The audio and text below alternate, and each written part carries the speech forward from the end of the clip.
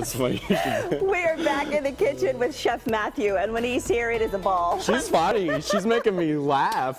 Well, you make us laugh oh, because that's- you bring so much love you. and passion to cooking.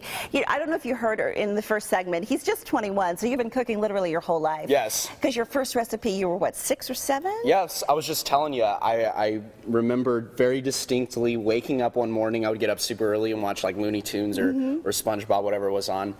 And I took a big bottle of mayonnaise and ketchup and mustard and made this like horrible secret sauce. so mom and Alex, my sister and my mom, wake up and I'm like, breakfast is ready. I love it. And it's just like But, no- Ketchup and but nonetheless, it was that passion that was sparked Yes. in you to get in there and even try to Right. come up with your own creation. And. I thought it was um, back then. I'm like, I'm like Gordon Ramsay. I did not that I knew who that was back in the day, but But now you are for real, for real.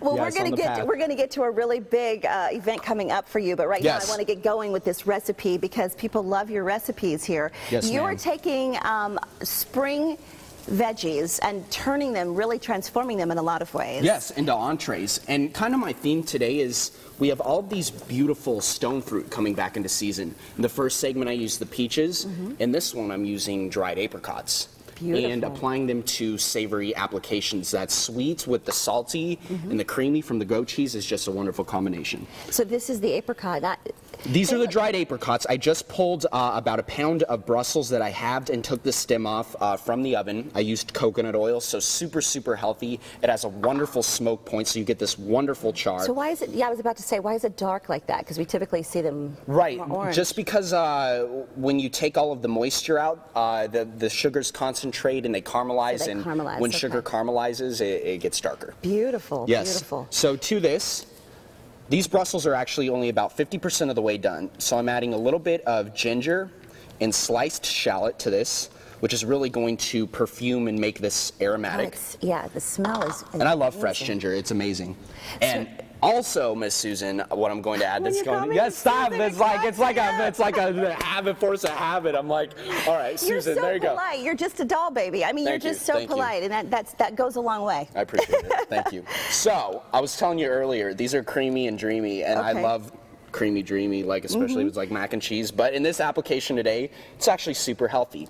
I'm just going to dab fresh goat cheese on top of this. This Mm-hmm. is going to go back into the oven for a couple of minutes until the cheese melts, the shallots roast. When they come out of the oven, what I'm going to do is add them to the bowl. So let's just let's just pretend glad we're gonna we're gonna we're gonna television. through the magic of TV. These are actually that for cooked. you. So the, now the Brussels sprouts, you just did them raw. You just Yes. cut them raw then. Cut them raw, a little bit of salt and pepper, coconut oil just to bind them. So you don't cook ahead of time. Right. Okay.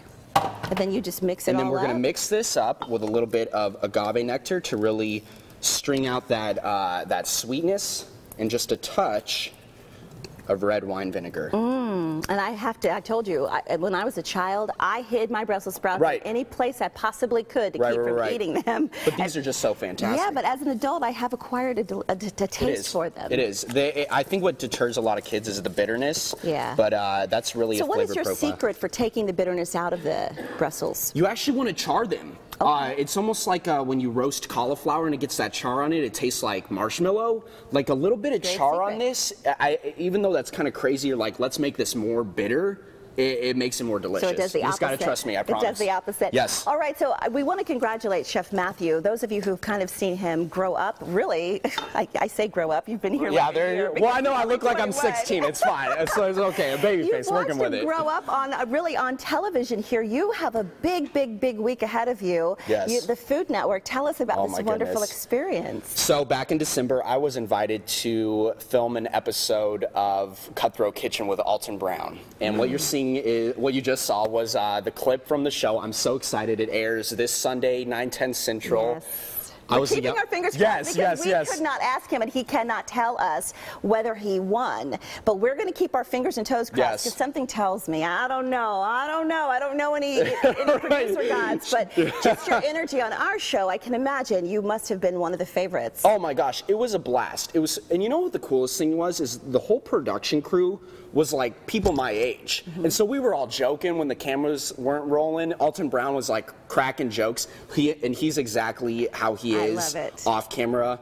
On camera. Like he's and the same so, person. And so is Chef Matthew. As I'm a whole adorable- different person. as I'm at- no, as he is on stop. camera. You are the same Thank off you. camera. My friend, we are wishing you much amazing. success. I know You're you're, going to do one more. You're going to do one more recipe Yes. for us. And what is it? a charbroiled ribeye with a pomegranate molasses. I- It's just we love him. We love him, Terry.